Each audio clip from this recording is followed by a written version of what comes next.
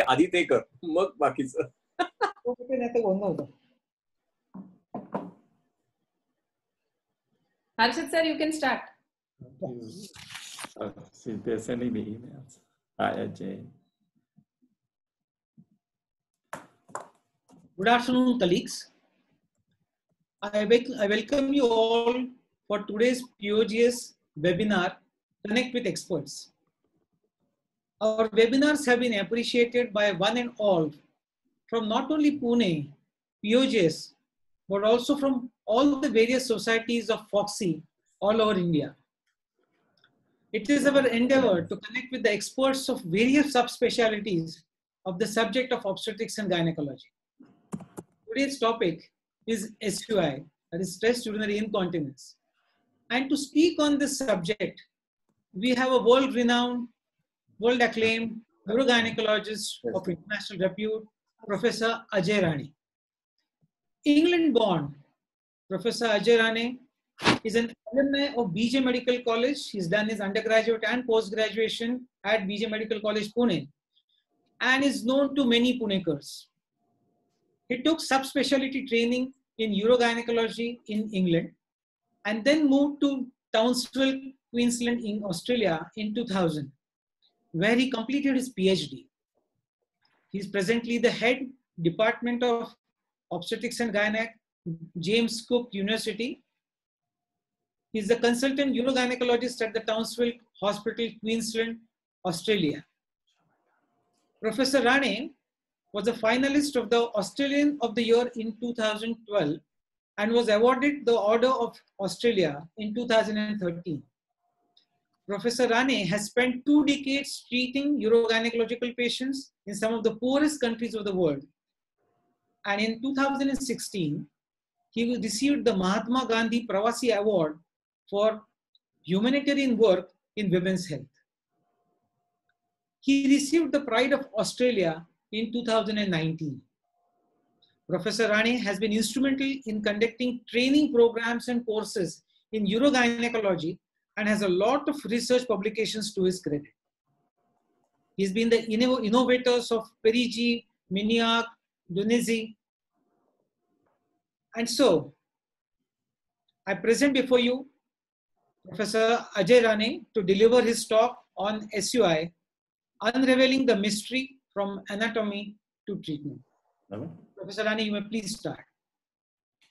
Okay, good. Uh, so, um, first of all, uh, I hope the audience can see me.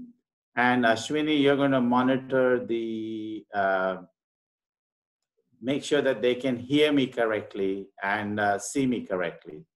Uh, thank you so much. So, first of all, uh, namaskar to everybody, and thank you for giving me this invitation. It's indeed a great honor and a pleasure to be here in my hometown, which is Pune. So I hope all Punekars are practicing uh, safe distancing um, and uh, social uh, isolation. Um, very important because we are just coming out of it from the other side. It would be very, very remiss of me if I did not thank Harshad, Chaitanya, and Ashwini from POGS to, for their dynamic pace at which they got me and uh, how they have managed to uh, organize this meeting so quickly. If I was to honestly mention amazing people that I have seen in the list of attendees, you will not hear the talk because everybody that I can mention will take one whole hour. So thank you, all of you who are attending, especially Girja Wag. I've known her for so long. Mangesh Narwarkar, Tanvir, my fellow from Hyderabad, Rosa, Parag, Mita Nakhre. It's, uh, it's, it's bad. If I just kept going, you will not get the lecture. So I'm really sorry. Uh, I just want to say a general hello and namaste to you all. And um, I am so, so emotional to be with you um, through this Zoom meeting. Thank you so much for, for sharing um, your time with me. I know it's very, it's three o'clock, but uh, look, we'll have some fun today. And um, I think that's the most important part. So let's have some fun. um, once people talk of SUI, oh, sir, SUI बद्दल बोला म्हणजे झालं बोमला आम्हाला you know सगळ्याबद्दल बोलायची इच्छा आहे फक्त एसयूआय काय पण today I think Ashwini told me no तुम्ही फक्त एसयूआय बद्दल बोलायचं so I'm going to only speak about SUI, which is fine, but um, it is all interrelated. So let's kick off. Uh, now, the most other important thing I need to make sure you can see my PowerPoint presentation. So if you want to talk of SUI or stress urinary incontinence, basically it is leakage of urine on effort, sudden physical exertion, or sneezing and coughing.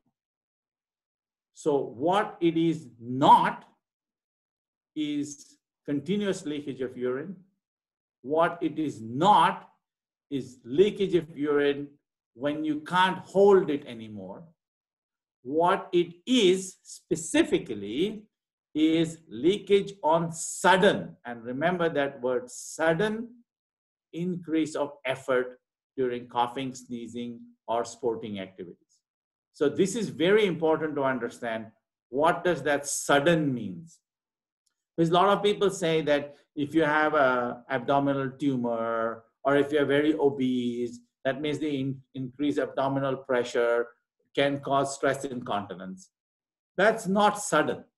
That takes a long time. So one has to be very careful about your diagnosis of urinary stress incontinence. Okay, good. So I want you to start thinking about because um, uh, what I was going to do was actually ask you questions and ask for answers, but I don't think that's going to work. it's not interactive, it's too many people. But in red or in colors, I have some questions. And so I think the first thing we need to understand is pelvic anatomy.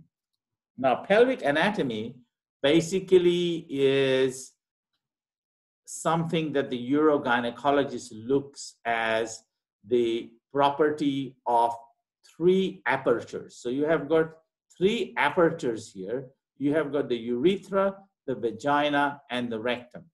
And urogynecologists actually look after all three of these systems. So we look after lower female urinary tract, we look after the entire genital tract, but we also look after the lower gastrointestinal tract.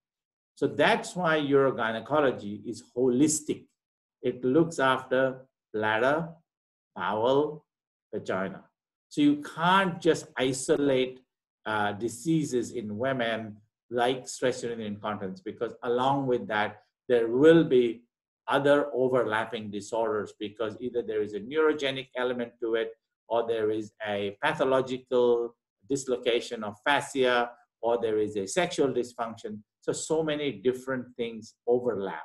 So, urinary incontinence alone, uh, we'll talk, tackle that first, but then understand that it is a holistic disorder. We have 146 participants. I am enjoying this.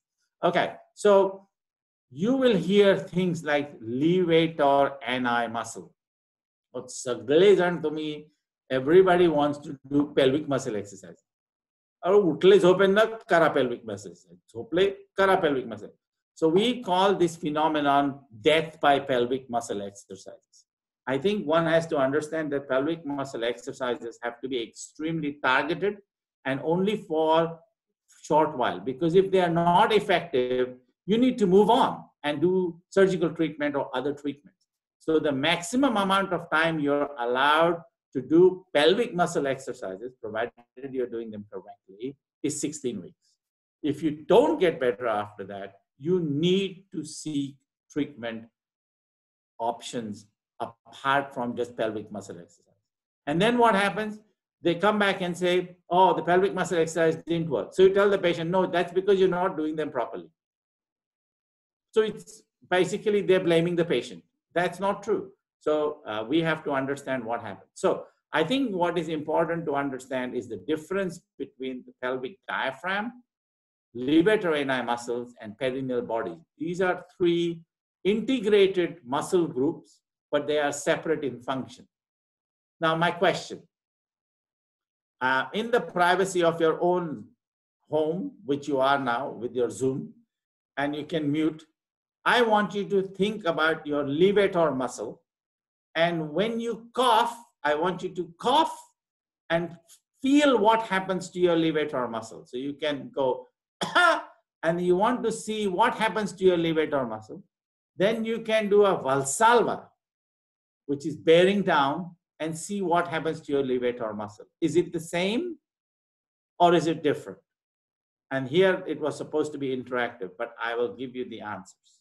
Okay, so what we are looking at is from underneath, you can see bulbocavernosus, uh, bulbospongiosus, ischiocavernosus, perineal bodies, superficial transverse perinei form the lowermost part of the muscular uh, support of the lower third of the vagina. Puborectalis and pubococcygeus are the only two muscles that you can voluntarily control. So when we talk about pub, uh, pelvic muscle exercises, you are talking only about puborectalis and pubococcygeus. You cannot voluntarily control or contract iliococcygeus or ischiococcygeus. Otherwise, your pelvis will be moving like a butterfly. It doesn't move. So the only voluntarily controlled muscles that you can do are puborectalis and pubococcygeus. These muscles are easily fatigable. They do not hypertrophy. So if you did pelvic muscle exercises, your hands don't become like my biceps, right? So they don't hypertrophy, but you can make them work a bit quicker. You can increase the fast twitch fiber contraction. This is important only because I want you to understand the whole concept of the treatment of pelvic muscle exercises. Because everyone says before delivery do pelvic muscle exercises, during delivery do pelvic muscle exercise, after delivery do pelvic muscle exercise. When you're driving, do pelvic muscle exercise. When you're not driving, do pelvic exercises. But I think the understanding is what are you really trying to achieve? That is very important. So the answer to my question is when you cough, the levator braces. When you do a valsalva, the levator balloons.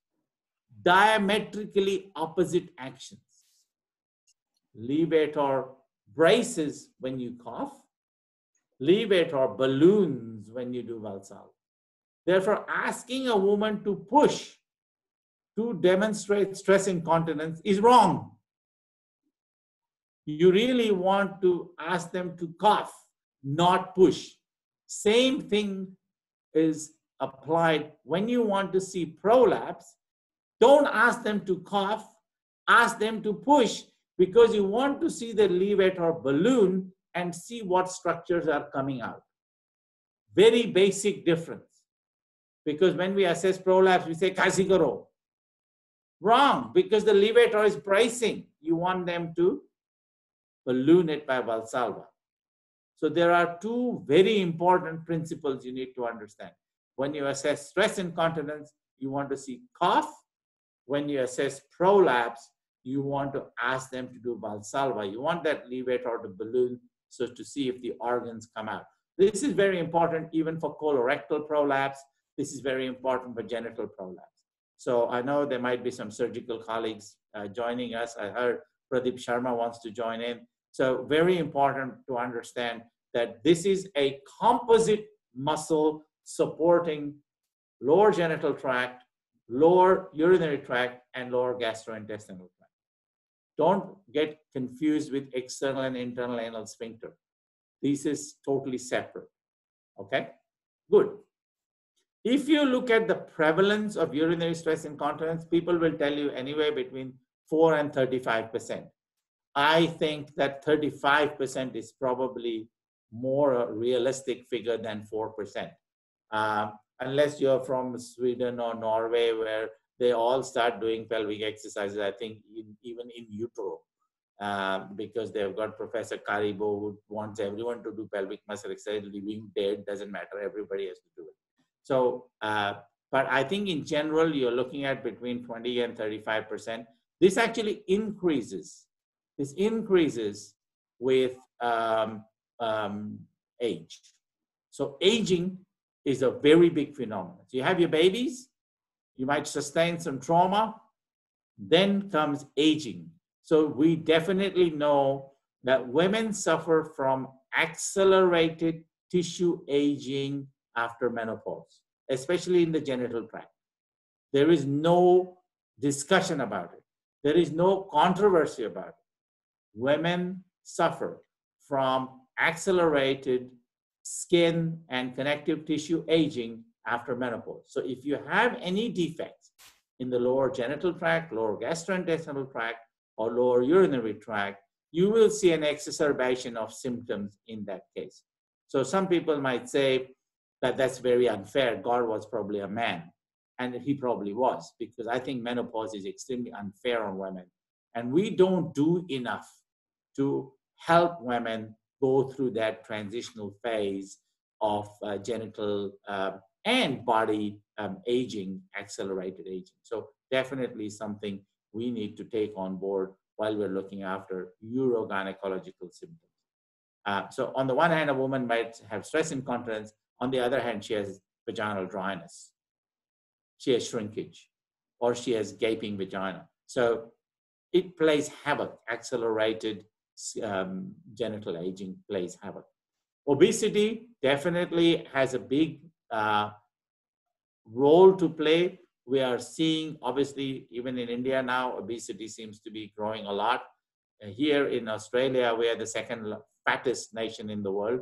So for us, uh, a pre-pregnancy booking weight of 120 kilos is nothing. You know, um, we are just used to very big people, but with that, you see a lot of pathology.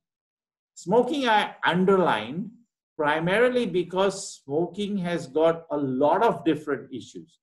Smoking, you will cough more. Therefore, you will probably get stress incontinence. But secondly, smoking actually adversely or actually accelerates tissue degeneration after menopause. So the commonest factor that we see in patients who have got what we call sling erosion after a sling operation, we'll show you those on the video, is smokers. 98% of women who get sling erosions in our series of 7,000 odd patients are smokers. So smoking does something very bad to tissue quality, even in the vagina. So it's nothing to do with just lungs, right? So smoking is very important. Pregnancy itself as a cause of urinary incontinence remains controversial.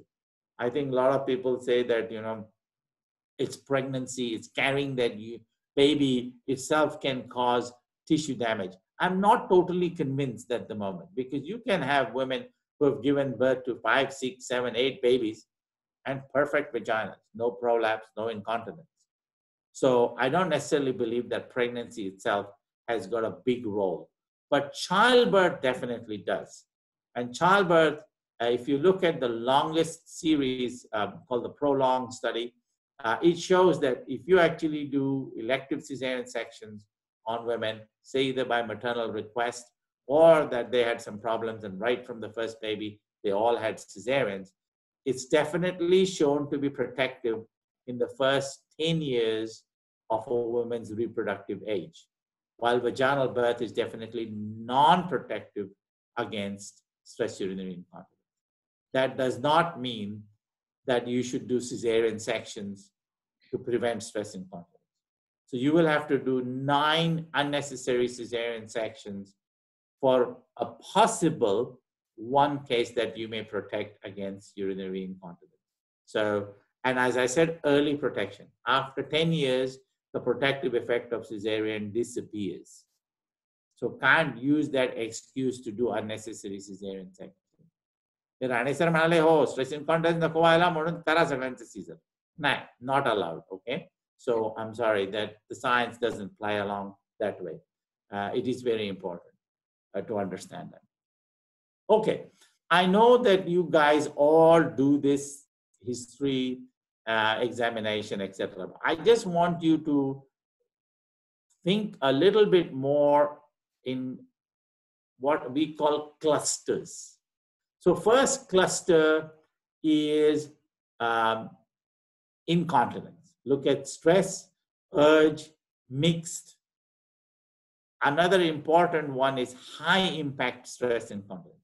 So high impact means the patient says, I don't leak at all. But once I start running or I jump on a trampoline, uh, only then I leak. The other one we see in young girls is giggle incontinence. Uh, young girls should giggle. It's as should young boys. But some girls develop what's called as giggle incontinence. Now, giggle incontinence is a variant of SUI, not urge. So a lot of people give them anticholinergics, oxybutynin. It doesn't work. Giggle incontinence is really uh, a passing phase in a woman's life, a young girl's life. You can actually uh, get them to do some core exercises of the abdomen, and they do very, very well. Next is uh, your voiding pattern, frequency, six to eight per day, urgency, when you need to go, you need to go, nocturia more than twice a night. So you need to be very clear when you ask these questions. And the next one, which is really important, is really about your voiding history. Because if you do any surgical intervention, you really need to know beforehand whether these people have any voiding dysfunction. Otherwise, they're going to say, Saran kare Ali, आता काय I can't pass urine. हे म्हणाले दोन मिनिटाचं operation आहे Sorry.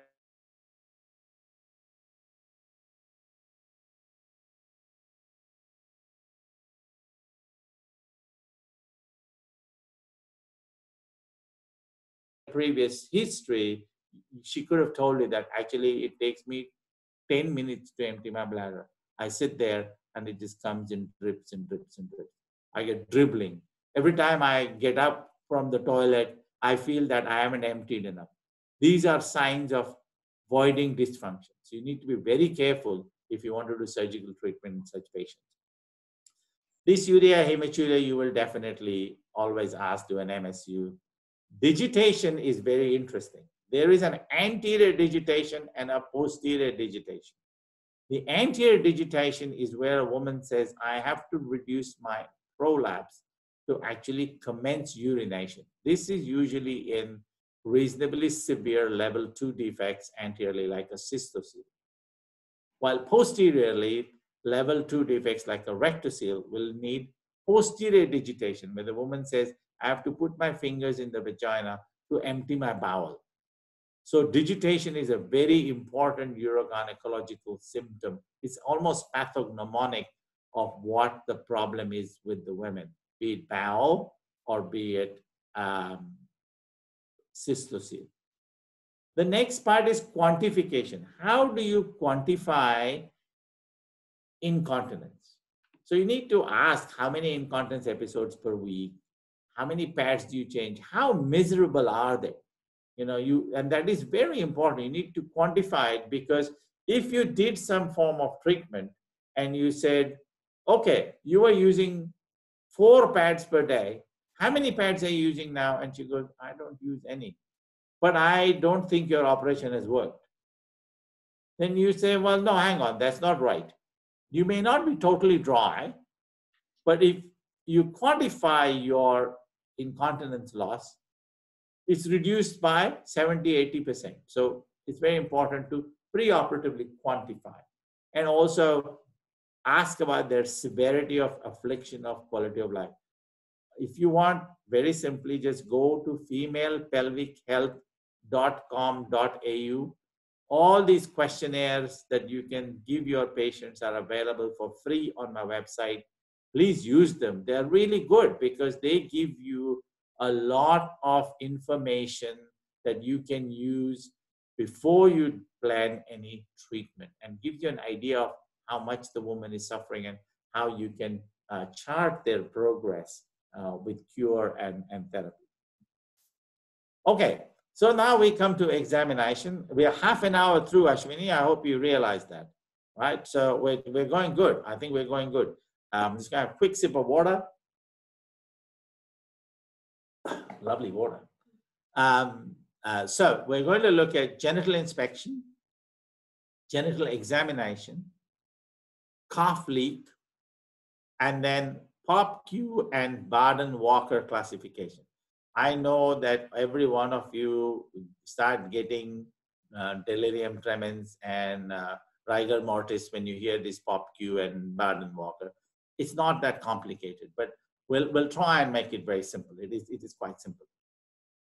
So what I did was, again, I was going to make it interactive and say, what do you see at genital inspection? What do you see at genital examination? But then um, I think the important part is we, we're not going to do that. So I'm going to move to my next slide. Ta-da! Here you go. It, all the answers are there. So when you genitally inspect, you want to look at atrophy, you want to look at excoriation, and you want to look at presence of a bulge uh, coming out of the vagina. Genital examination usually should be done in the dorsal position, not necessarily in the lithotomy position. Some people do it um, in the left lateral position. If you're doing the dorsal position, which is is on the back, there is flexion of the hips, flexion of the knees, abduction of the hips, then that is good enough. You don't need to do anything else. What you must do though is examination is always done at Valsalva. So you need to ask them to bear down, push down, or say push down as if you're opening your bowels. Okay, so I think it's very important to understand what you tell the patient. Examine at Valsalva. That gives you an understanding of bulge, leak, hypermobility, um, and other pathologies. So examination should always be at Valsalva. Whatever you demonstrate should be at maximum strain or at Valsalva. So your note should say at maximum strain, bladder is stage three or stage four, whatever you want to call it.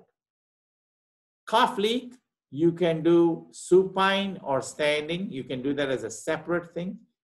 All you people have ultrasounds in your rooms. So you can just do a quick volume of the bladder, never more than 200 ml in the bladder to do a cough test. You know, cough test supine, be careful, otherwise you'll get it in your face. So just make sure that you're not facing directly at the urethra or make the woman stand and cough at 200 ml in your bladder. So that's your cough test for demonstrating stress urinary incontinence. Valsalva is to demonstrate tissue dislocation or tissue disruption, fascial disruption, muscular disruption, hypermobility. Valsalva is not there to demonstrate incontinence, but you may see incontinence if that happens. Now, I'm going to make this Pop POPQ Baden-Walker very simple. Forget those names for one minute.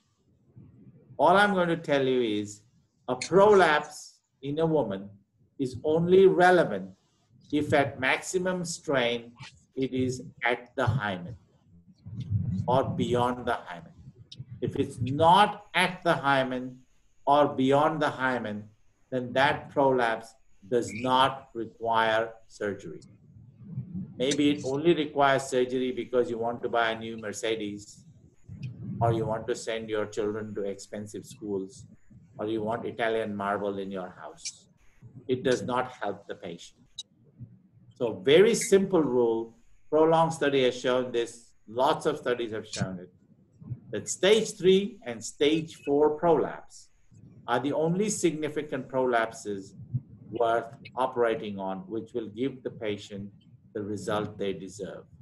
So strain, if the bulge comes at the hymen or outside the hymen, then it's worth operating. There is no such thing as mild cystocele, mild rectocele. Next time when I come to Pune Harshad, if I find anybody doing, saying mild cystocele, mild rectocele, I will kill them. Because there is no such thing. The vagina has to be mobile. Vaginal mobility is not a disease. It's its function. Nobody's vagina is rigid. When you ask them to strain, there is always movement. Good. If you don't have movement, you can't have sex. You can't open your bowels. You can't open your bladder. So you need a vagina that is mobile. But vaginal mobility is not a disease. It's not mild cystocele, mild rectocele. That is only for your Mercedes. So it has to be stage three or stage four prolapse. These are very important points that you need to understand we follow as urogynecologists.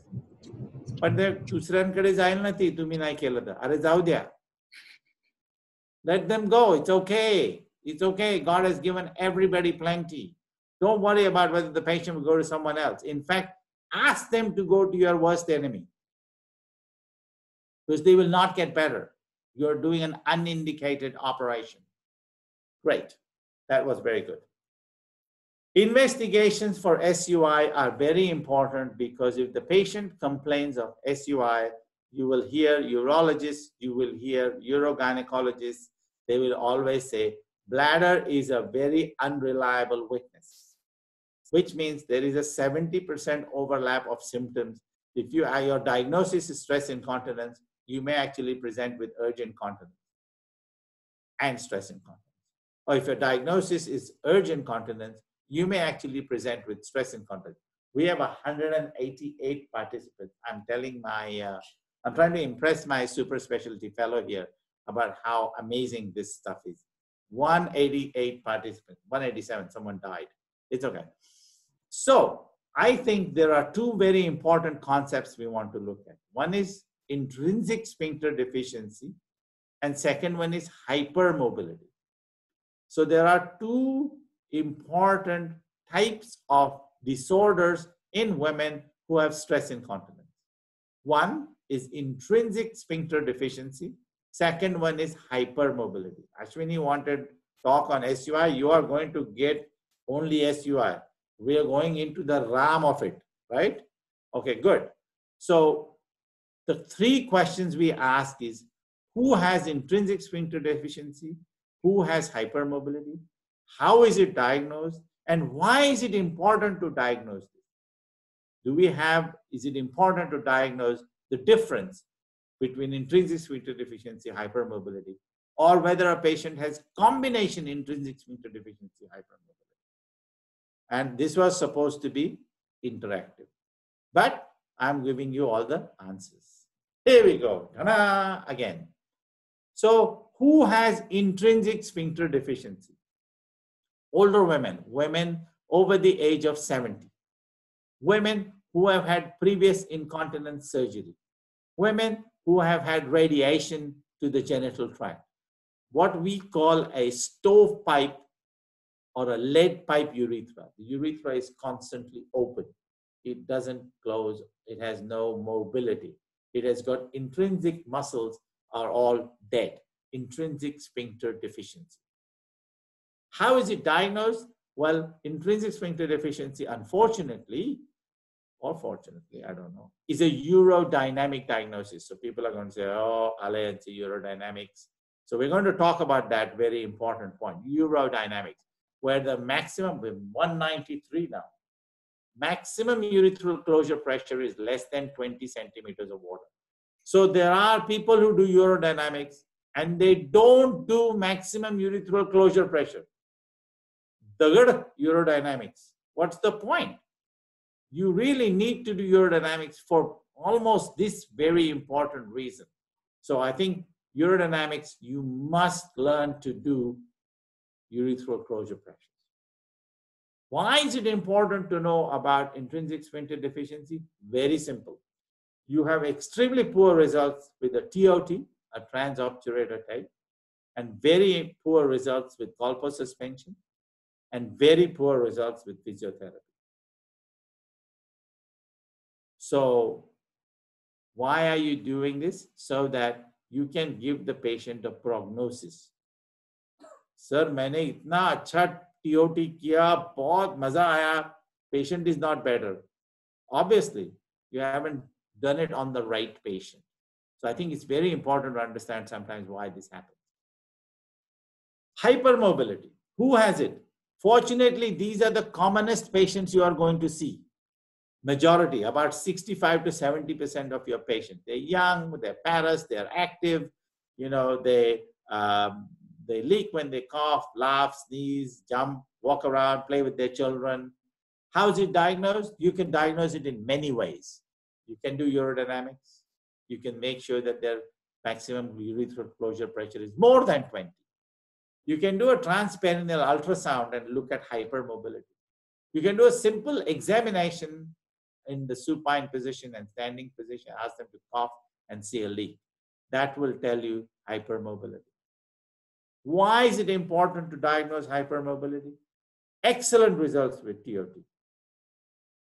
Excellent results with colpo suspension. And also very good results with physiotherapy. So you need to know who to send patients for physiotherapy. So there's always this question everybody asks me. Should all patients with SUI have urodynamics? And that was the challenge that I was going to put to all of you. The short answer is in an Indian setting, can you afford to do urodynamics on all your patients? It's a very interesting question. My experience working in India, uh, unless you are in the very tier one, tier two, and high paying, the answer is no. So then what do you do? You don't treat patients? You leave them on their own? Uh, this is a very interesting question. So the next important question really is, uh, where is what is urodynamics? What does it mean? So urodynamics has got numerous components to it. Urodynamics means taking a good history. Urodynamics means doing a good bladder diary. Urodynamics may mean doing a one hour pad test to quantify your leakage. Urodynamics may mean filling the bladder up 200 mils and doing a cough test. So you are making every effort to try and find out what the diagnosis is. That, in my opinion, is urodynamics. There are also very simple ways in Africa we do what something called simple urodynamics. Simple urodynamics means what? You put a Foley catheter, attaches a, a uh, bottle of saline to it, get a foot putty, put another infant feeding tube in the Foley catheter, and slowly start filling the bladder with the uh, saline and see what the pressure in the bladder is. And if it goes above 15 uh, centimeters of water, then you probably have um, detrusor overactivity. If the bladder capacity is less than 300 ml, then you probably have over uh, detrusor overactivity rather than stress incontinence. If your patient has got my internet connection is unstable, that's what it's telling me. But I hope you can hear me. Um, so uh, it is very important to understand that um, you can do urodynamics without actually having the fancy machine. In Africa, we have women voiding on a um, patrachi badli, a tin bucket. Okay, so they sit on, they have the, the, the commode, and under the commode is a tin bucket. So basically, once the noise starts, we start the stop clock when the noise finishes, we stop the stop clock and then we measure the volume. It's volume against time. That's your uroflowmetry. So you can do it quite simply if you want. So I, what I'm trying to say is if someone sues you because you've done the wrong operation and the urologist or guys like me go, oh, you didn't do urodynamics, doctor. Why didn't you do urodynamics? Then the only way I can protect you is if you have documented all these other things. I took a good history, I did a pad test, I did a bladder diary, I quantified the incontinence, I checked the voiding, then I can protect you. So you've made every effort to help this patient who could not necessarily avail of urodynamics. Ideally, yes, of course, you would like to do urodynamics. So I hope that is a very important aspect that people always ask. हमारे यहाँ तो urodynamics है ही नहीं है ना इधर है you have to use this to understand what urodynamics means. Right? Yeah. Good. Now we're we're doing well. We've got 15 more minutes for one hour to finish. So that's good. So what are the treatment options? I've told you about pelvic muscle exercises. Pelvic muscle exercises should be targeted. They should be only done between 16 and 20 weeks. They should be a good physio who actually instructs patients properly, but also does a PV examination to make sure they are is their glutei and they think that they are doing pelvic muscle exercise. So the only thing they get is gluteal muscle hypertrophy. Then they have powerful gluteal muscles like Serena Williams. Not going to help their stress incontinence, right? So it's very important to understand that they are actually squeezing the puborectalis, not the perineal muscles, not the gluteal muscles, puborectalis. So it's very important that targeted, targeted physiotherapy with a finite period only. After that, it's not fair on the woman. You cannot let a woman suffer from embarrassment all her life just because someone says, oh, look, the physiotherapy is still working, trying to get it done. Not more than four months. Okay. They say it takes women seven years, even in the Western world, to seek help for incontinence. And if you don't look after them at that episode, they will not come for another seven years. It is very embarrassing for women to go to your, it doesn't matter whether you're male or female doctor. It's very embarrassing for them to go and say, I actually leak urine or I smell of urine all the time. It takes great courage for women to do that. So let's respect their courage and give them proper treatment. So pelvic floor exercises. Vaginal estrogen, very important over in women over the age of 55. I don't really care whether they have symptoms or not you need to give them vaginal estrogen because of that accelerated genital tissue aging, which they will get after menopause. So please give them vaginal estrogen. Oral estrogen does not work on the genital tract because the genital tract and the hippocampal gyrus of the brain, I don't know why, have a different type of receptor called ER beta, while the rest of the body has ER alpha, which is more sensitive to estradiol, while the genital tract and the hippocampal gyrus more sensitive to estriol. These are very important things that you need to understand. Minimum therapy time, four months. So must give them vaginal estrogen in four months. Don't do that come or nine. Very important. You can get these very dangerous, ugly looking bladder neck support prosthesis, which the women actually put in when they're jogging or when they're going out to support the bladder and take it out. I don't think you can have intercourse when you have this bladder neck support prosthesis. I think it will scare your husband.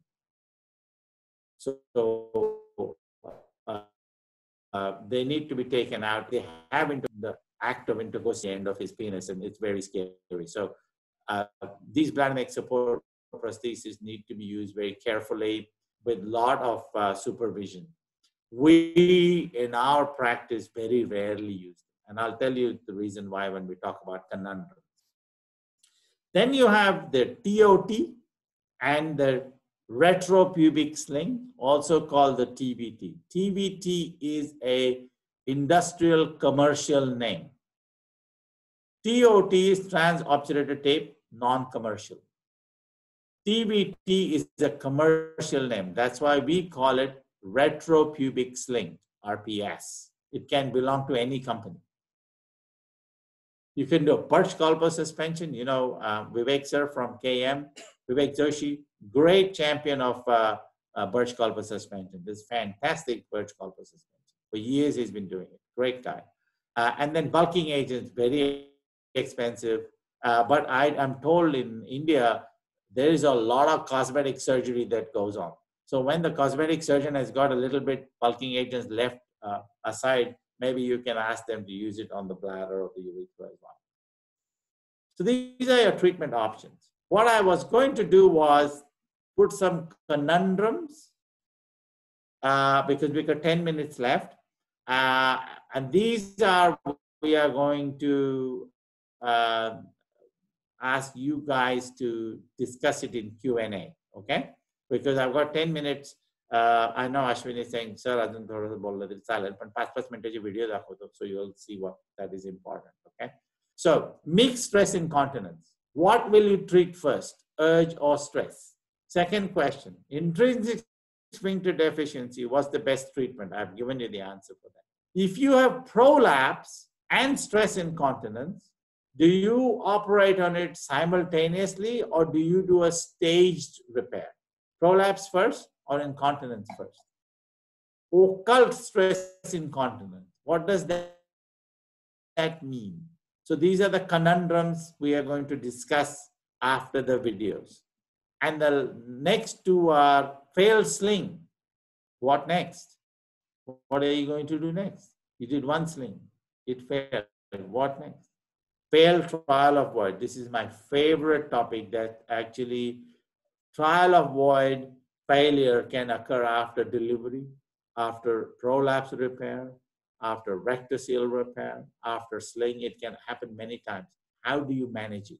It's a very important discussion because there is one very simple physiological fact. If you have neglected urinary retention for more than eight hours, where the bladder capacity has been stretched to more than two liters, you can have permanent bladder damage. That bladder will never get better again. So we want to avoid that under all costs. So it's also very important after delivery as well. So trial avoid, very important. We look at the conundrums. Okay, so let's start with the first uh, tape. I hope you can see it. This is a outside in transobturator tape. And I'm going to talk to it as I go along. And I'd like to thank, uh, ooh, what's going on? Here we go. So we do surface marking. I think I might stop it at various points. Uh, uh, yep, okay. I'm just gonna stop it. So I'm gonna show you, we do surface marking on every TOT. If you do that in your life, you will never have groin pain, okay? And very simply what you do is you draw the genitocrural fold, you draw the lower border of the adductor longus tendon, and where it meets medial to the genitocrural fold, below the adductor longus tendon, is where you will either exit your TOT or enter your TOT. If you go higher up, you have a 4% risk of groin pain, which is permanent. You have a life member, okay? So we give what is called as a transobturator block. At that point, we inject 10 ml of saline. I'm gonna keep going. And you can feel the needle inside. So if you guys want to do TOTs, this is a fantastic block you can give. Make sure you don't prick your uh, inside finger with the needle. You feel the ballooning. And then you actually mark the bladder neck and you see that's the urethra, that's the external distal urethral sulcus. This is the mid urethra we are cutting and we make a pretty big incision around two centimeters. So don't do uh, conjugiri, okay? There's a very important point that you will see as soon as I um, lift this up, I'm going to stop this video because what we would have done here is we would have marked something called the bladder neck. So the bladder neck is marked at the bottom here. It is a little blue line meets the bladder. That area is like your mother-in-law. You must avoid at all cost. Do not operate at the level of the bladder neck. Bladder neck, you do your slings above the bladder neck, here at the mid-urethral level. And if you want to do a cystocele repair, do it below the bladder neck. We now have 200 people. Yes, well done. Okay, we'll continue with our uh, virtual operation. So you can see the patient is alive. I believe me, the patient is alive. So there's no bleeding as you can see. And as soon as you say that, the bleeding starts, right? But if you do the hydrodissection with local and saline, you can actually make sure that the bleeding is not too bad. We always take the tissue towards the bone. So in, in the next step, you will see I push the tissue towards the bone and relax the instrument. So I'm feeling the bone now. I'm making a big tunnel.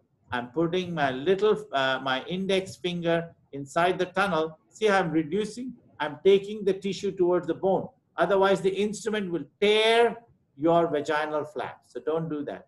So we make two little holes, as you can see, and then the needle is at 45 degrees and the handle is towards the patient.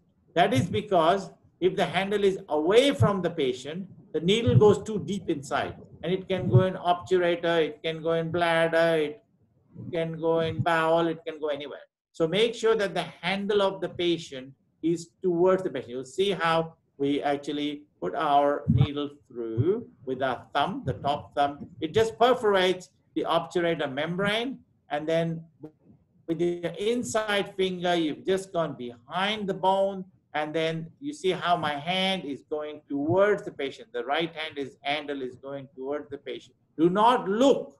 Just keep feeling the needle and bring the needle outside over your finger and it should face towards the clitoris. If you have done that step, that means you have no fornicial perforation and you are in absolutely the correct position.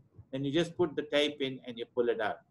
So keep these steps very simple, okay? So same thing again, we're going to go with the other needle, handle towards the patient, 45 degrees, put your finger in the tunnel, you put your needle through, use your top thumb to perforate the obturator, you feel the give, you see that give, the handle is towards the patient, rotate slowly,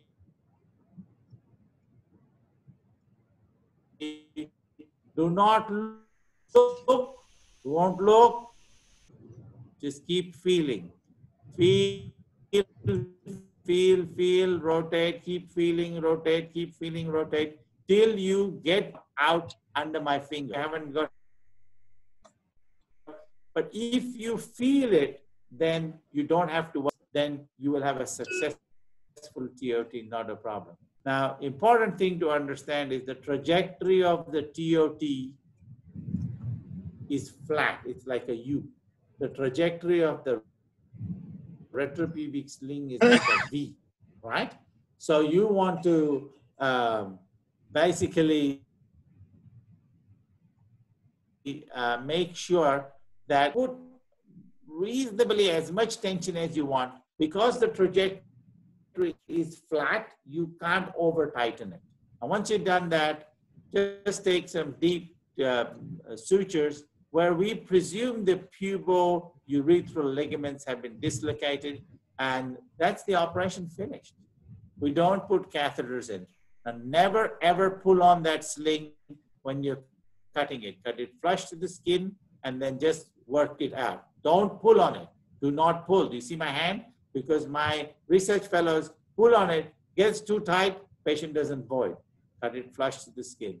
We don't use a catheter before the operation. We don't use a catheter during the operation. We don't use a catheter after the operation. We don't use a catheter. No need. There is no need. And so we're going to cystoscope them just to see a urethroscopy. So, and a lot of people say, I'm taking a cystoscope now. A hysteroscope and sagroscopy. Every gynecologist wants to be laparoscopic surgeon, IVF specialist, and obstetrician. So you have got scopes. Don't tell me you haven't got scopes. If you've got a hysteroscope, you can still put it in the urethra. It's one hole above the vagina. Just look at the urethra, make sure that it is normal. So, you know, I don't believe this fact that people shouldn't do. I think you should do a lot more cystoscopies. That's always helpful because when you tear the bladder during a cesarean section, mm-hmm. you should be able to do a, a cystoscopy at um, um, three o'clock in the morning. Someone jumped in. I heard some funny noise. Never mind. Okay, we're moving on to the next, which is the retropubic sling. Oh my God, time is almost up. we can continue? Ashwini? you Yes, sir, yes, continue? sir. Yes. Okay, right. Uh, okay, good. Okay, so we're going to do a retro Time is not an issue. pubic sling now. This is a totally different pubis. Then we mark the pubic tubercle. And, and basically we, uh, so we use a lot, lot of marking. Doesn't matter if you've done 7,000 operations or 20,000 op- Every patient is different. You must mark the anatomy. The other thing we mark is the, see that's the distal urethral fold. That's the mid urethral fold where the hymen is.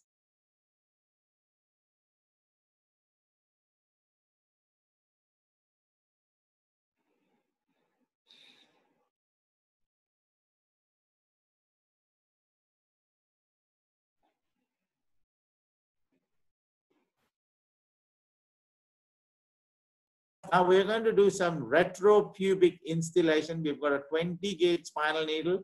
We're going to put 20 ml of saline. You feel just at the point that you make it, just go behind the bone. Women put in 8 centimeters needle, aspirate, put in about 15 ml, and then uh, pull out the needle and um, by about a centimeter or two, and then inject the rest 5 ml. If you aspirate, and you see yellow, that means that's urine, you're in the bladder. Don't inject. So can you repeat this? You had just got disconnected a few minutes back. I Did I? this video. Yeah, yeah. Okay, so basically, we are doing retropubic local infiltration. You just go behind the bone, 20 ml of saline, you aspirate. If nothing comes out, just inject all 20 ml in that spot. But first inject 15 ml at 5 ml, just pull out the needle a little bit and then put in the local. What this does is actually does what's called as aqua dissection between the scava Retzius and the bladder. So your risk of bladder perforation reduces. Then you do mid-urethral hydrodistension. So in the mid-urethra, you use just the tip of the needle and inject about 20 ml of saline. You will see blanches. It does a lot of blanching. Blanching is very good. Blanch, blanch, blanch, we always say, which means that you're putting the local in the correct place, right? We're going to make an incision which starts just below the distal urethral fold and goes into the mid urethra only and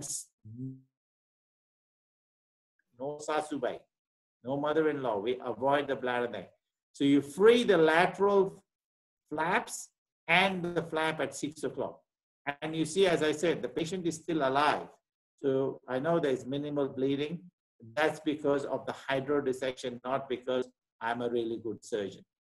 Now, same thing, we make a tunnel, we perforate the pelvic diaphragm, and then we feel the bone. And you will see that I'm feeling the bone. See, I can actually push off the bone, and that is very important. So you create the tunnel, doesn't have to be as big a tunnel. For TOT, big tunnels, for retropubic thing, not necessarily a big tunnel. Same thing on the other side. You just feel, perforate the pelvic diaphragm, you feel the bone, you bounce your scissors off the bone. You can see how you can bounce the scissors, make sure your tunnel. So that means you can't traumatize the urethra. And then by using the needles properly, you avoid traumatizing the bladder. All my fellows have done a shish kebab of the bladder. That's normal. It's 6%. So that's it's good training. But this needle is very ergonomic. It's blunt. That's what I'm saying. And you feel the bone go behind the bone and then just slide it through. See how the tip is blunt. I'm putting my finger on it and there's no blood. That's what I'm trying to show. When you actually have a blunt tip, it pushes tissue away rather than tearing tissue. So blunt tip is actually a good thing, okay? And you've got two needles. Some people like to put one needle on either side, but ideally we should put one needle at a time and do a cystoscopy with a 70 degree scope. The tape we use is a polypropylene tape by Coloplast. It's the softest tape available in the market. It has no elasticity, zero elasticity, which means when you put the tape, you don't get any bounce back, which you get with the other uh, tapes. So where you put this tape is where it stays. So what I'm really saying there is, if you put it in the wrong place, it'll stay in the wrong place. If you put it in the right place, it'll stay in the right place. So where you put it is where it stays. I think that's very important. Now what we're doing here, you can see there is a catheter in the urethra. Some people like to do what's called a urethral deviation, but it's on the same side at which the needle is going. Um, we don't, I don't really adhere to it too much. That's Dr. Gina Wolf. That's Surendra Bhutra. We also have Indian anesthetists. Wonderful people, wonderful. Um, so um, basically, I felt the bone. I'm going behind the bone. I'm pushing the needle through. You look, I'm using my right hand. My right hand is very sensitive because I'm right-handed. So I'm using my right hand to feel behind the symphysis pubis. I will not touch the needle until it tents. It has to tent the skin up. I'll show you on the other pass. Otherwise, you will feed the bladder onto the needle and cause a perforation. So don't let your, is a 70 degree scope. And there's Surendra is always looking. And we're looking at the 11 o'clock position, making sure the needle hasn't gone through and wiggling it. And that's fine. Then you take the tape off the needle and very slowly pull the needle out. This is a retro pubic sling we're doing, okay? The needle's coming out, then we can use the same needle or we can use the other needle, it doesn't matter. Again, urethral deviation, keep the tape flat, put it through the needle, use your dominant hand. So a lot of people think I should change my hand. No, you must use your most sensitive hand for the most sensitive part of the operation. For me, look, I'm using my right hand again. So doesn't matter whether I'm going on the left hand side or the right hand side, I'm using my dominant hand. And that gives you sensitivity. It's very important to have sensitivity. See how I'm passing the needle. Now, nobody will touch that abdomen until I see the needle tenting the abdominal wall, which means I've gone through the rectus sheath. Then I will press it myself. Otherwise, you can feed the bladder on the needle and get a perforation. Again, a 70 degree scope, making sure that your, uh, you haven't perforated the bladder. So you can shish kebab it at one o'clock. So one o'clock and 11 o'clock are where you can see the needles. And we, we have people who can um, shish kebab. My fellow is laughing on the side because she's only done one shish kebab so far. Check the urethra, make sure there's no um, um, tape or trauma to the urethra and see how the urethra is closing. Can you see how it's closing? We call it the wink effect. So that's, we keep a little pair of scissors in there, make sure that it's tensioned. Now this is, it, look how slowly I took out my scissors. It's very important for to do this very slowly. Don't try and pull, push, pull, push all the time. Do it slowly. And you see how the, the, the, the tape is surrounding the urethra. Basically now we're going to take two fascial sutures, close the, um, close the um, vagina, and we do what's called a natural fill trial void. So two hours later, the patient will go and uh, void. Now, you have to understand, for these operations to work, we do them under GA. We don't give spinal. If you have a spinal, then you have to put a catheter in for at least eight to 10 hours and then make them do a void. Sometimes you can do what's called a Credé's maneuver, fill the bladder with 200, 250 ml of water, and then jump on the abdomen and see if it actually leaks. Even if it leaks, don't try and tighten it too much. Because usually the temptation is I'm going to tighten it too much. And then if you do that, your patient will get retention. In our series of nearly 7,000 slings now, we have a 3% voiding dysfunction rate. And we have a less than 1% sling erosion rate. So if you select your patients correctly, you do your dissection correctly, you give them analgesia, you do a standard good trial of void, you should get a 97% success rate and a very happy patient.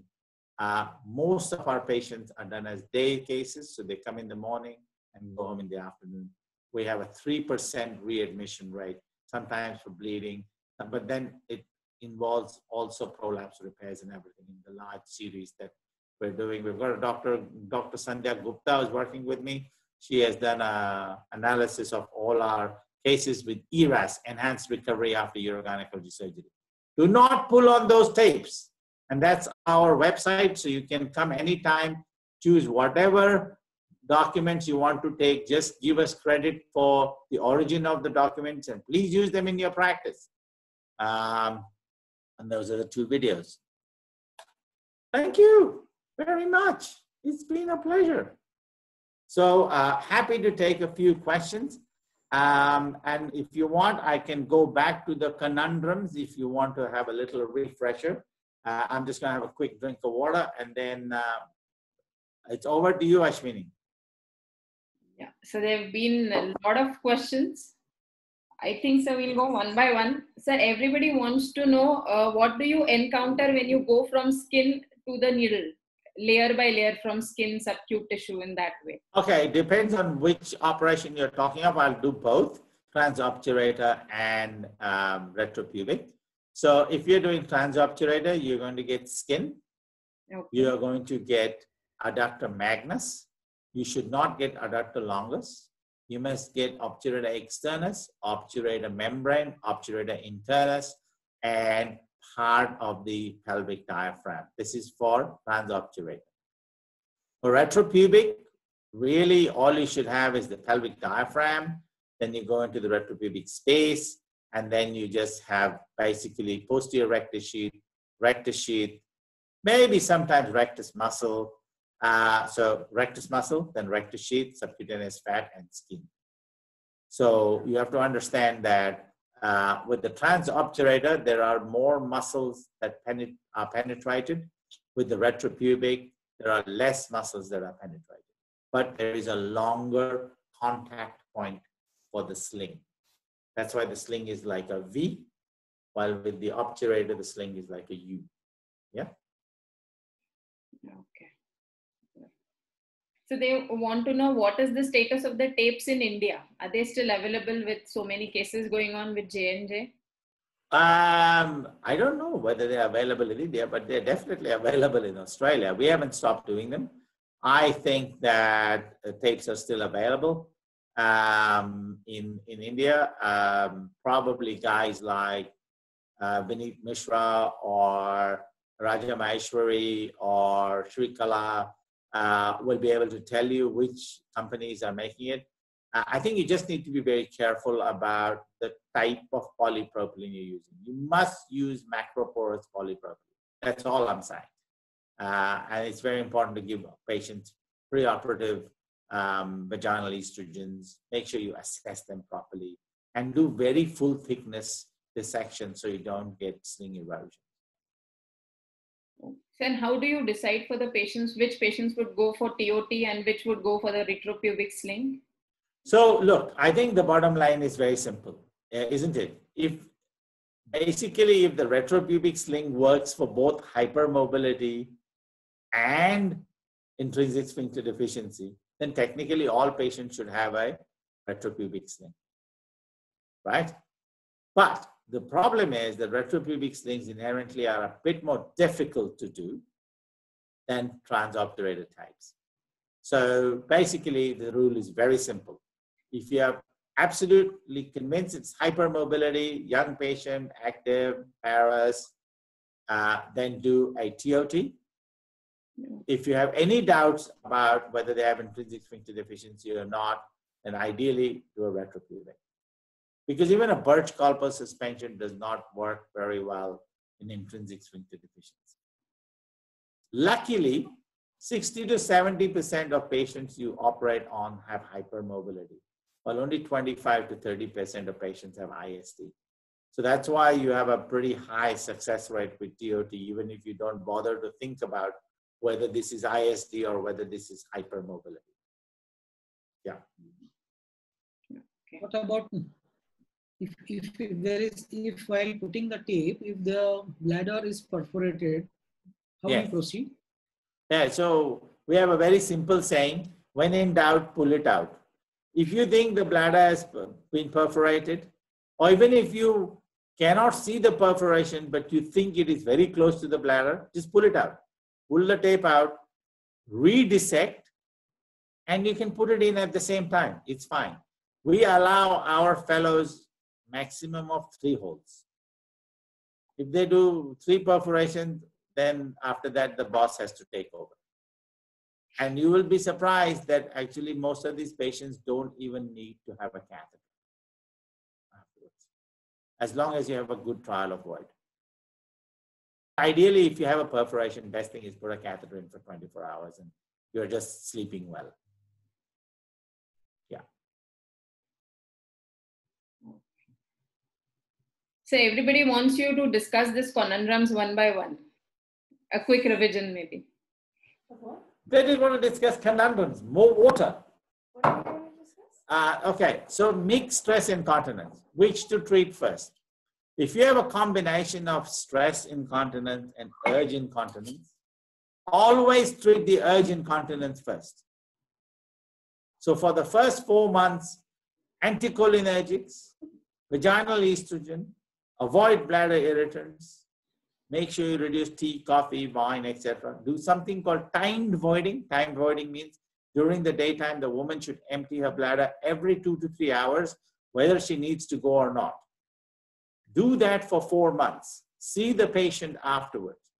If there is an improvement with the urgency, then treat their stress incontinence, but continue treating their urge incontinence. Otherwise, what happens is you treat the stress incontinence, they're not leaking when they cough, laugh, sneeze, but they go, I can't hold my urine. Every time I need to go, I'm leaking. So for a patient, it still means leaking. They don't care whether you divide it into urge incontinence or stress incontinence. For them, it's leaking. So don't forget to continue treating the urge incontinence. Urge incontinence requires medication, dedication, medication and dedication, lifestyle changes, reducing weight, not drinking Coca-Cola, reducing caffeinated drinks, and also reducing white. That's very important. Intrinsic sphincter deficiency, we told you what is the best treatment. Best treatment is retropubic sling. Now, the next two topics could take one hour each.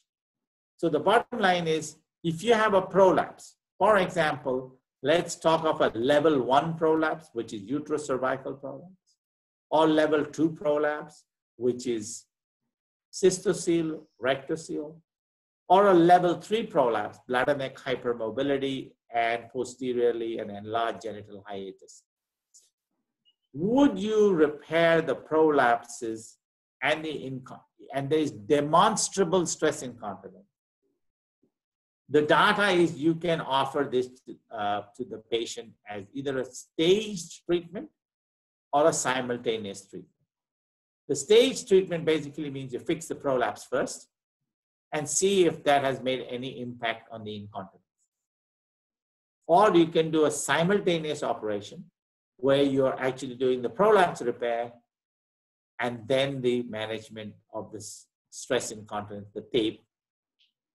The tape should always be done at the end of the procedure once you finish all your prolapse repairs, whatever you want to do, anterior colporrhaphy, posterior colpoperineorrhaphy, vaginal hysterectomy, sacrospinous fix, whatever the hell you want to do, do it first and then do your sling. Sling should always be last because otherwise the tape will move while you're doing your prolapse repair.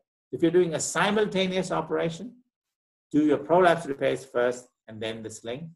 Or you can do a staged procedure where six weeks after prolapse surgery, you can actually do the sling. Occult stress incontinence is different. Occult stress incontinence means the patient has no symptoms of stress incontinence. She's got a genital prolapse. You basically put the fingers in the vagina and you do urodynamics, and she leaks when you reduce the prolapse. Patient has no symptoms, but it's occult because it's hidden by the prolapse. So what can happen is you could prepare the patient And then she comes back and says, Ye kya operation kya? Basically, I'm leaking urine now, right? So occult stress incontinence is a conundrum. But there are lots of studies now showing that do not, there's a 50 50% split between urogynecologists and urologists about whether you should treat occult stress incontinence simultaneously. I prefer not to treat it simultaneously. I do it as a staged procedure. There are some studies which show that you have to do six unnecessary tapes to treat one occult stress incontinence successfully, which means the companies make a lot of money.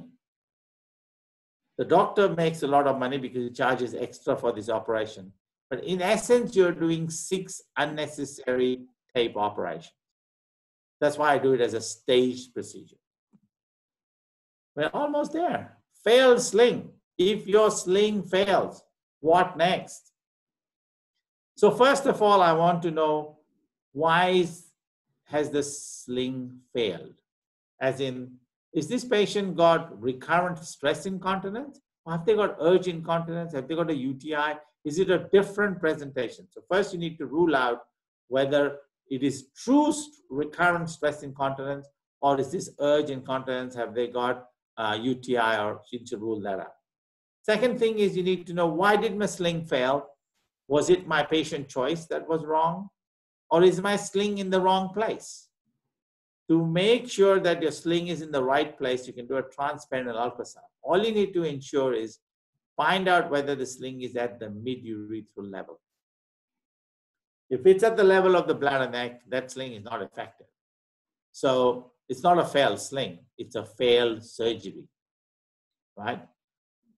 We do sling on sling after we have ensured that the first thing we did is in the correct place, that there's no UTI, there's no overactive bladder, but the patient still has recurrent urinary tract infection. But we always do it cross trajectory. So if we have done a TOT first, then we will do a retropubic sling.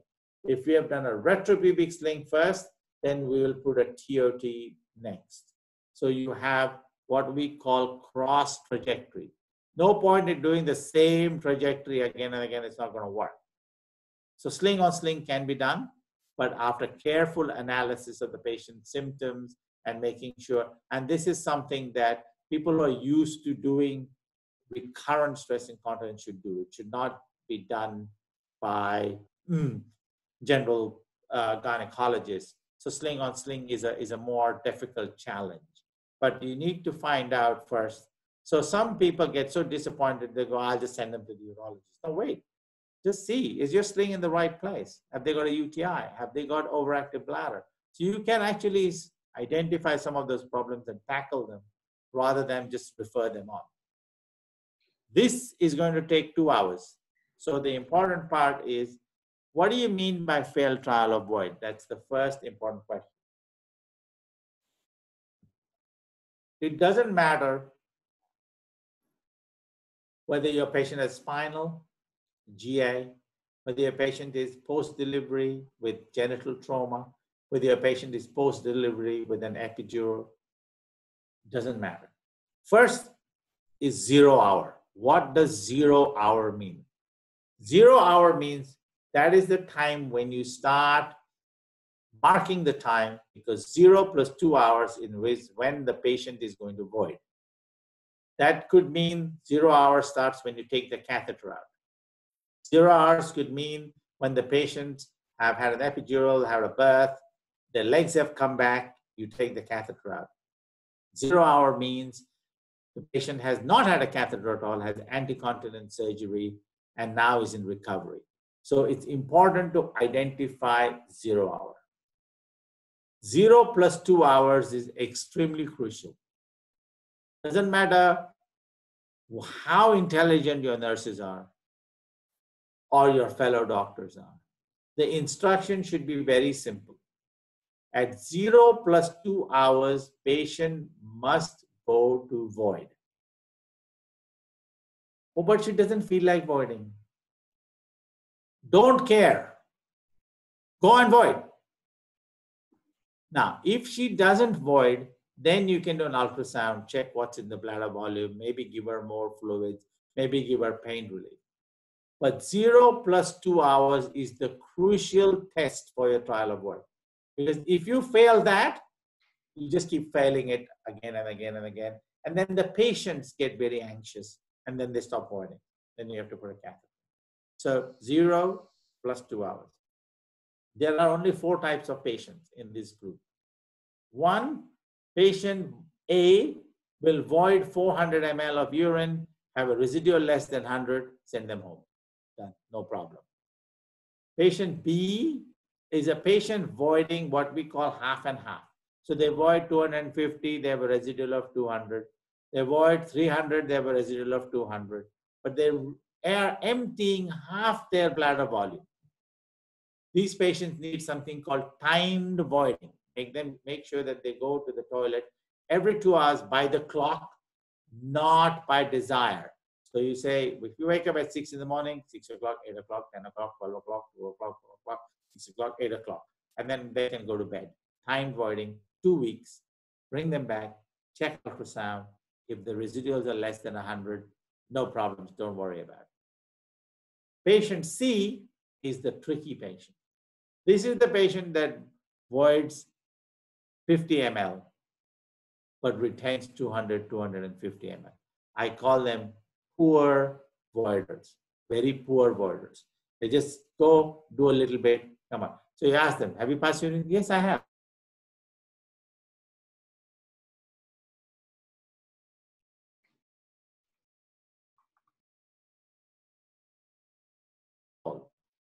So patient C and patient D should be treated as the same. You should actually treat them as if they are not passing urine. Right? So then what do you do? Patient's not passing urine. What do you do? So you can give them hourly voids, do ultrasound. But once you get to a volume of four, 500 and they're not able to void, it's very unlikely that they will void. So the first thing you need to do is put a catheter in for 48 hours.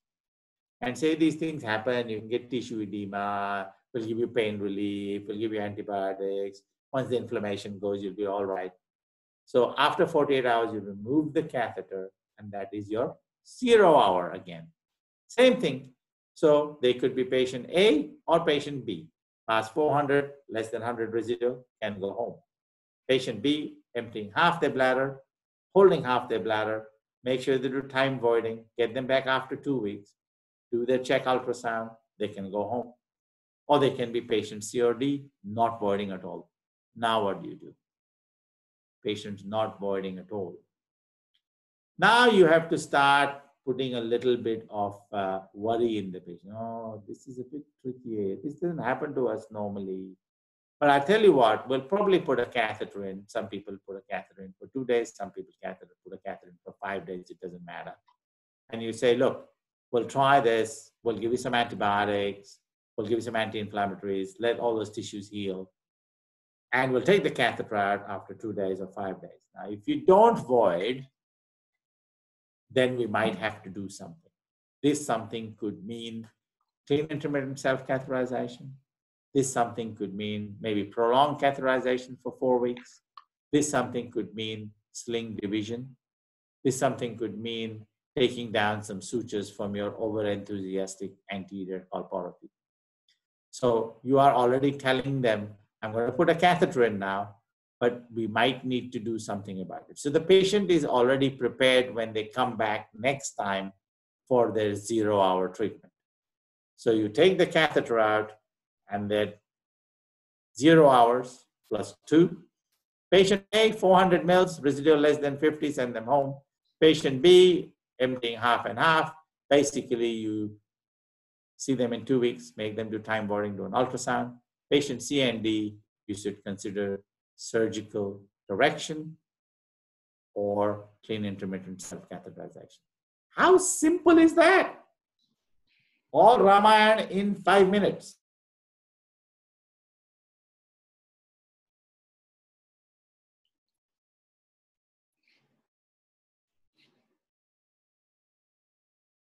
Thank you for letting me talk about the conundrums.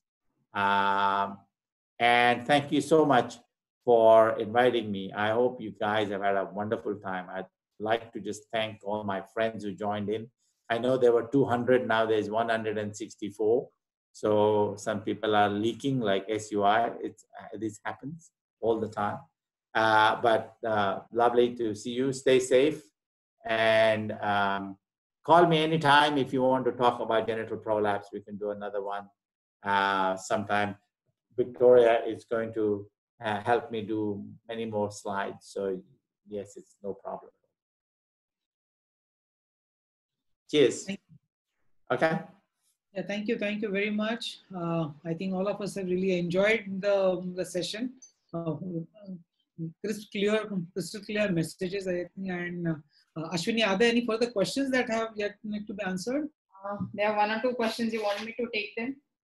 They want to ask till what age do Kegel's exercises help? What age? 100. Do Kegel's exercises help? 100. Okay. Yeah, you can you can do Kegel's exercises. My point is, you do Kegels for four months only. If it doesn't work, gotta treat, gotta move on in life.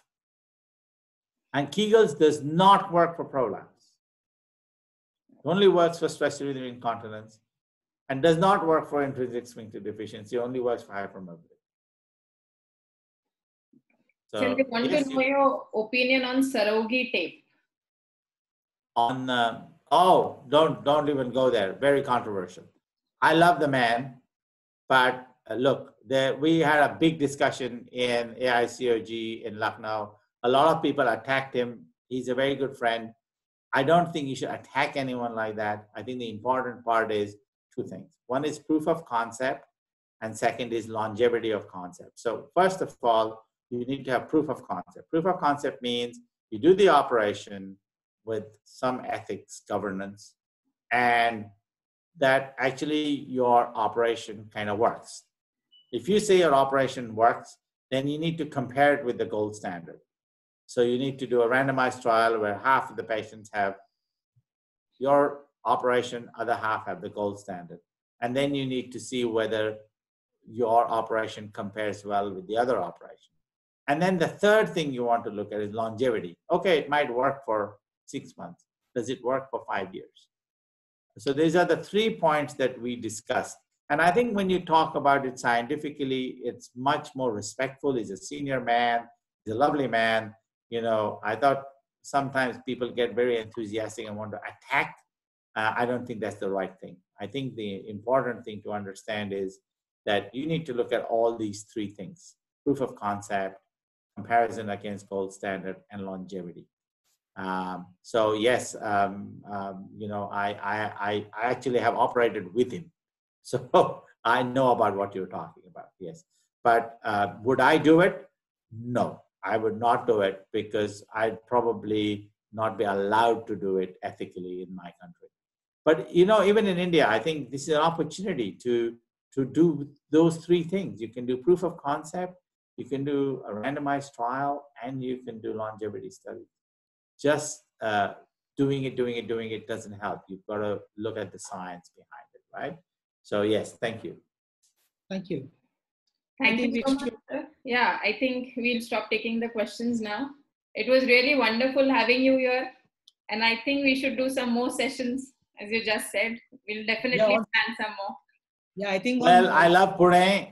I love Punekars. I am one of them. So I, I just, just want to send my love to all my friends and uh, uh, thank you so much for giving me this opportunity. Stay safe. Thank you. And uh, social distance. I think we should do. Okay. I think we should do more of uh, pelvic floor dysfunction uh, uh, programs later on again with you. It was very nice. Good. Yeah. Happy to. It's my job. I'm a teacher. I like to teach, but uh, our whole philosophy is about unraveling, making it simple. You know how Buddha holds his hands? You have to make this, remove the knots one at a time and make each concept simple. If you make it simple, then you actually can care for patients better. If you make it complicated, then everyone's wondering what is really going on. So it's about simplification.